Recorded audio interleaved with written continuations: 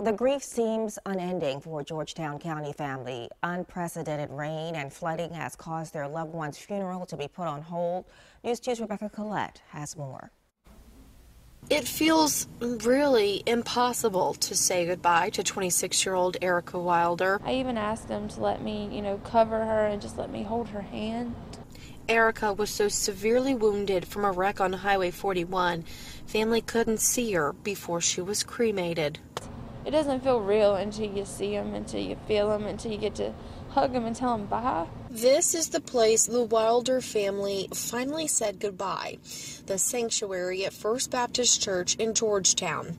Erica Wilder died in a head on collision with a log truck on October 2nd. You don't expect someone to be so young and, you know, a child just comes to show that you don't know what tomorrow brings.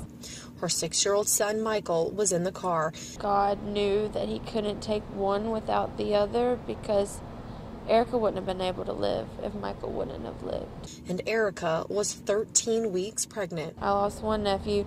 I lost a possible niece or nephew. We don't even know.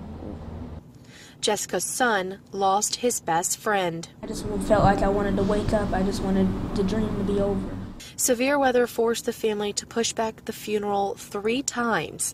Family finally made it from out of town, though the reality of what happened along Highway 41 hasn't set in. That was Rebecca Collette reporting. A best friend of Erica has set up a GoFundMe account to help with funeral costs. You can find a link to that on our website, counton2.com.